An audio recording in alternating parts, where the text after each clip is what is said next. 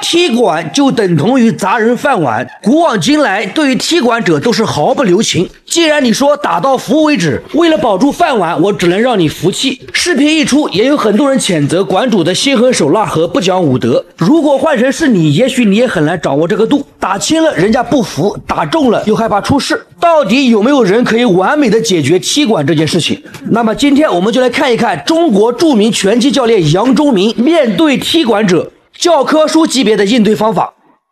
视频里的黑衣选手就是杨忠明，背心小哥就是今天的踢馆者，来自乌兹别克斯坦。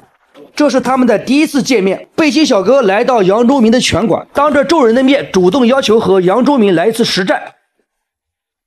那么他这个意图也是非常的明显。了解杨忠明的人都知道，杨教练的性格比较内敛，但是遇到这种事情也属于赶鸭子上架，逼着上。大家从视频里也可以看到，这个来自中亚格斗强国的背心小哥，绝对是一个一顶一的高手，专业的拳击步伐、躲闪，挥出去的每一拳都是压迫性十足。当然，杨忠明也发现了这一点。我后来问他当时是怎么想的，他说：“我上了擂台以后，很快就发现对手是一个高水平的练家子，我尝试让自己冷静下来，并且在换拳中成功的击中了他。”杨忠明问他有没有事，背心小哥说：“还好，还好。”来了一记重击，背心小哥把手拿得更高了。这个看起来不怎么样的花拳绣腿，居然真的有东西。背心小哥开启了进攻模式，杨忠明防守反击，几记组合拳打得非常漂亮。我们待会来看一下慢镜头。虽然背心小哥防守的非常严密，但是杨忠明的拳见缝插针，杨忠明始终保持着安全的距离。这种距离感的掌控，绝对不是一朝一夕就可以练得出来的。后勾前摆拳打中，哇，这一拳也是比较重啊。后直拳命中，有句话叫内行看门道，外行看热闹。大家仔细看背心小哥的进攻，基本上对杨忠明没有造成任何的伤害。杨忠明也可以精准的判断背心小哥的企图。背心小哥开启了疯狂的进攻，哇，这一拳看起来杨忠明被击倒。背心小哥问他有没有事，杨忠明说我没有事。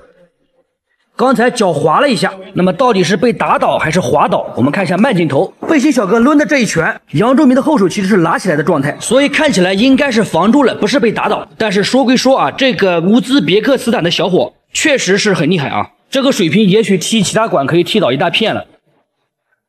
啊，小表。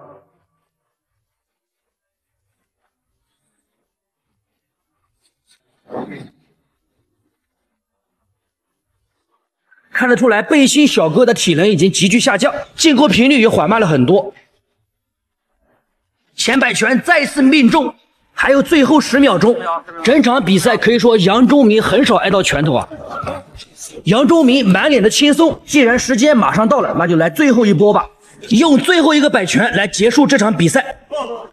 你没看错，这个乌兹别克斯坦小伙在踢馆失败以后，居然拜杨忠明为师，在杨忠明的剑奥拳击开始训练。这就像武侠小说里的“仗剑天涯，快意恩仇，一生千万里，孤剑对尘风”。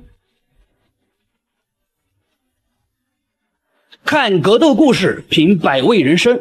这里是小北格斗频道，喜欢本期视频记得点赞、关注、加转发。下期见。